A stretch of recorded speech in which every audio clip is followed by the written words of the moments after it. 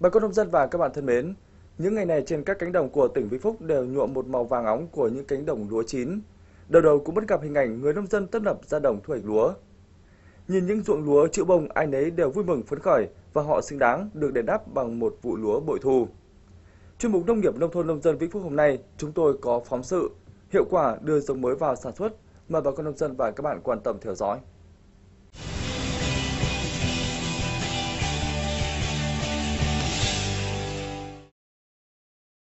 Đã mấy năm trở lại đây, ngành nông nghiệp Vĩnh Phúc liên tục được mùa. Năng suất lúa vụ sau luôn cao hơn vụ trước, góp phần đem lại sự ổn định về kinh tế, xã hội cho khu vực nông thôn của tỉnh.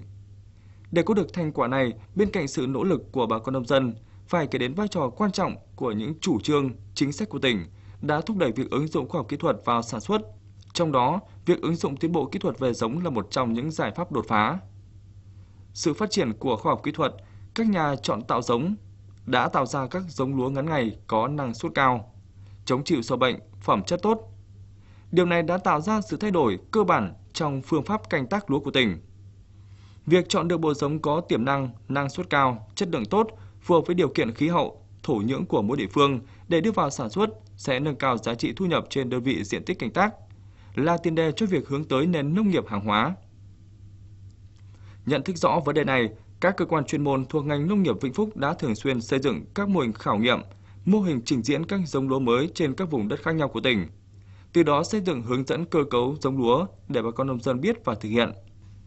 Từ năm 2010 trở về trước, những giống lúa chủ yếu được gieo trồng ở tỉnh ta gồm có Khan Dân 18, Quỳ 5, Vũ Di 3, C21, C23 và một số giống lúa lai khác. Qua thời gian, đa số giống lúa lai đã không giữ được chỗ đứng trong cơ cấu giống lúa của tỉnh. Chỉ còn các giống lúa thuần vẫn tiếp tục được duy trì cho tới ngày nay.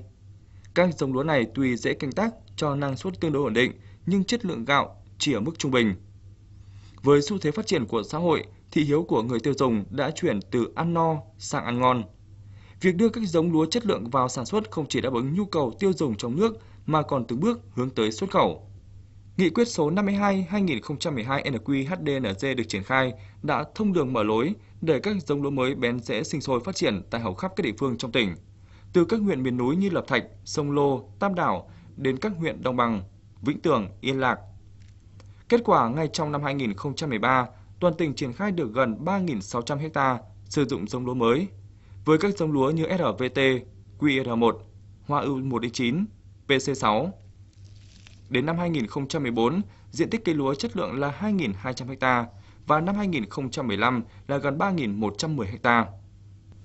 Các mô hình cấy lúa giống mới đều cho năng suất hiệu quả kinh tế cao hơn so với sản xuất lúa thông thường trong cùng điều kiện canh tác. Hiệu quả kinh tế trung bình tăng khoảng từ 3 đến 5 triệu đồng một hecta, nơi cao tăng từ 8 đến 10 triệu đồng một hecta. Với hội hợp thì với cái diện tích à, 550 hecta diện tích canh tác thì tôi nghĩ đây là một cái giống là một cái vấn đề rất quan trọng. Trong mấy năm qua là hợp tác xã nông nghiệp hội hợp là liên tục ừ, ừ, tiếp nhận và chuyển giao những cái giống mới về cho hợp tác xã à, cho địa phương. Đặc biệt gần đây là có cái chuyển thể cơ cấu cây trồng và có cái hỗ trợ giống của của của của tỉnh. Nên là hợp tác xã lại càng có nghĩa là thúc đẩy và tuyên truyền mạnh mẽ về cái việc này. Ví dụ như thiên yêu 8 và hương sống số 1 kết quả cho thấy cái vụ chiêm xuân này là đạt năng suất rất cao. Ví dụ cái ờ, thiên lưu 8 là đạt 246 cân một xào. Đấy.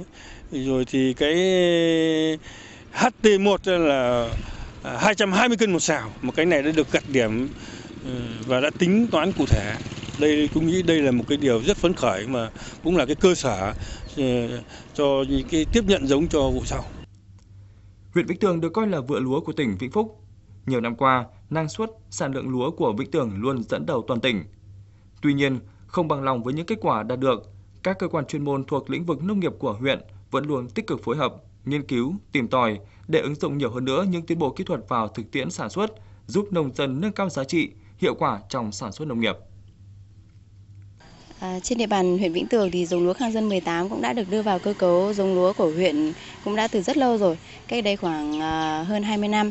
Thế tuy nhiên là trong quá trình canh tác thì giống lúa Khang Dân cũng đã biểu hiện một số những cái à, à, biểu hiện thoái hóa.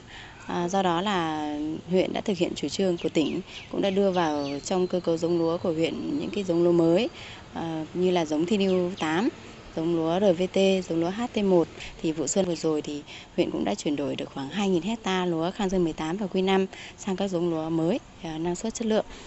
À, và ngoài ra thì à, phòng nông nghiệp trạm khuyến nông cũng đã tham mưu với lãnh đạo ủy ban nhân dân huyện là xây dựng các mô hình trình diễn các giống lúa mới năng suất chất lượng như là giống lúa Bắc Thơm số 7 kháng bạc lá, giống lúa J02, giống lúa ngoài ra thì còn các giống lúa như là HGT8 hay là HGT10 thì ờ, các giống lúa mới này thì cũng cho năng suất và ờ, ờ, chất lượng ừ, nói chung là biểu hiện hơn khang dân rất là nhiều. Năng suất thì nó đảm bảo là từ 240 đến 250 cân trên một sào. Qua quá trình khảo nghiệm chọn lọc đã xác định được các giống lúa mới chất lượng phù hợp với điều kiện của huyện như LVT, Thiên Hữu 8, HT1. Tham quan thực tế tại đồng ruộng mới thấy sự hiện diện ngày càng nhiều những ruộng lúa có phiến lá thẳng đứng, lá đỏng to, thân cứng, khóm gọn, bông to, hạt dài, độ đồng đều cao. Đó chính là những ruộng gieo cấy giống lúa mới. Nhận xét về những giống lúa mới, hầu hết cán bộ, người dân ở các địa phương đều dành cho chúng rất nhiều thiện cảm. Hợp tác xã Nhật Tân thì mới đưa vào khoảng 20 hecta. Và cái ưu điểm của cái Thiên y 8 này, cái nhất là về cái năng suất và cái chất lượng là cao, năng suất cao, chất lượng ngon. Đấy, đấy là về cái Thiên y 8 và sẽ chịu được tức là kháng khuẩn, đấy, kháng bệnh. Từ cái à, vàng à, à, cái cái bạc lá rồi đạo ôn rồi là cái khô vằn. Đấy là cái kháng khuẩn. So với khang dân 18 rồi quy 5 dần dần tức là cái cái cái à, thiên điều 8 này sẽ đưa vào để thay thế. Trong số các giống lúa chất lượng đang được gieo trồng đại trà ở Vĩnh Phúc thì giống lúa Thiên Hữu 8 đang nhận được sự quan tâm hơn cả. Mặc dù gieo trồng trên các vùng sinh thái khác nhau, thuộc vùng miền núi, trung du, đồng bằng, nhưng giống Thiên Hữu 8 luôn cho năng suất ổn định, chất lượng gạo ngon, được thị trường ưa chuộng nên bán được giá cao. Ngay cả tại các xã miền núi của huyện Lập Thạch, Trước đây, người dân vốn chỉ quen sử dụng giống lúa khang dân Q5, thì nay giống lúa Thiên Hữu 8 đang được người dân đón nhận rất nhiệt tình. Giống lúa Thiên lưu 8 thì năm nay là tốt, sinh trưởng mạnh mà không sâu bệnh gì cả. Thế nó chỗ thì rất đều, có loạt là được hay. Thế ờ, bông thì to, dài, uh, năng suất cao, so với khang dân thì êm hơn nhiều. Mà nó toàn giấy cái thì chả thấy có giấy còn đâu. Với nhiều năm gắn bó với đồng ruộng và cây lúa, ông Nguyễn Ngọc Dũng, chủ nhiệm hợp tác xã nông nghiệp Tử Du huyện Lập Thạch cho biết, giống Thiên Lưu 8 có nhiều đặc điểm vượt trội so với các giống lúa truyền thống. Điều này sẽ đảm bảo cho sự thành công trong quá trình chuyển đổi cơ cấu giống lúa tại địa phương. Tất cả các xứ đồng nào có ruộng thi đua 8 thì nó rỗ rất tập trung mà như vậy là bông rất dài, số hạt trên bông nhiều hơn so với không dân. Thế thì như vậy là tiềm năng năng suất của nó thì tôi thấy rằng là trước mắt ban đầu mà nói thì báo cáo anh là năng suất chúng tôi dự tính khoảng độ tầm hai trăm rưỡi cho đến hai trăm tám trên một xào bắc bộ Đấy. thế thì như vậy là nó cái ưu thế của nó là đồng rỗ đồng loạt. Quả cái mật độ như vậy là độ thuần của nó rất cao. Rỗ có một loạt không có bông lẫn pha tạp vào nó cho nên là bà con chúng tôi rất ưa thích. Thì vụ mùa tới đây thì chúng tôi sẽ dự kiến là đưa vào 80 phần trăm 80 80 phần trăm diện tích. Để cho như vậy làm sao là đưa cái cái, cái đời sống của nhân dân lên từ năng suất này ổn định lương thực của địa phương. Sau 3 năm triển khai các chương trình hỗ trợ giống lúa mới theo nghị quyết 52 của Hội đồng Nhân dân tỉnh đã tạo ra sự chuyển biến rõ rệt trong cơ cấu giống lúa của tỉnh.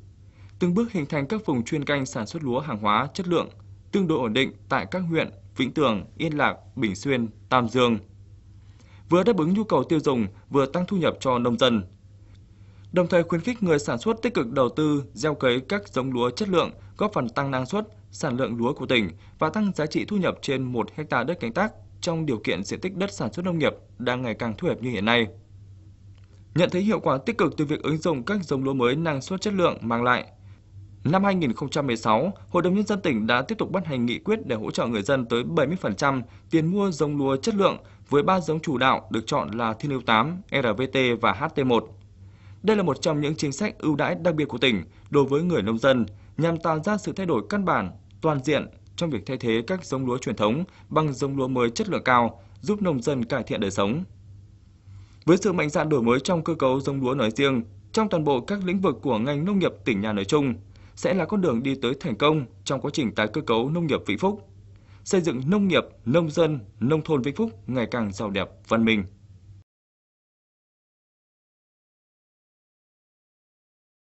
Chuyên mục Nông nghiệp, Nông thôn, Nông dân kỳ này của Đài Phát thanh Truyền hình Vĩnh Phúc xin được tạm dừng tại đây. Cảm ơn bà con nông dân và các bạn đã quan tâm theo dõi. Xin kính chào tạm biệt và hẹn gặp lại.